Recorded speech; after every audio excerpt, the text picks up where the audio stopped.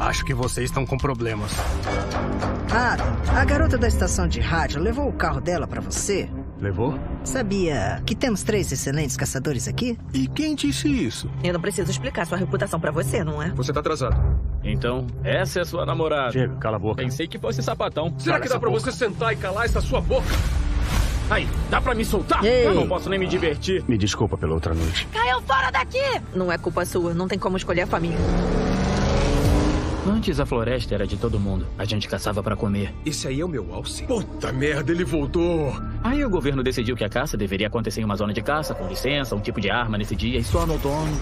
É ilegal. Não, se você não for pego. Nós só vamos quando há disparos. Teve disparos na zona ontem ao entardecer. Só os acenou caçam ilegalmente. Ah, droga, eu sabia. Tem um rastreador. Eles querem jogar? Vamos jogar. Mas os guardas florestais são como a polícia. Um monte de bandidos. Crueldade com animais, posse de armas de fogo, incluindo uma granada, roubo, furto de dinheiro, venda de bens roubados, assalto. Agora eu entendo por que sua mãe te deixou aqui quando ela foi embora. Minha querida, te aconselho a ficar longe dele se não quiser ter problemas. Eu não sou sua querida, mas obrigada pelo conselho. É que muitas vezes a gente sabe mais do que a polícia. Mas não importa. Eu tentei mesmo. Te dar chances e tentei acreditar em você. Errou de novo, né? O bom é que vocês não podem nos parar. Não podia deixar em paz!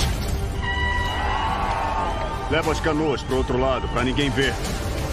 É sempre desse jeito? Não entra na merda por nós.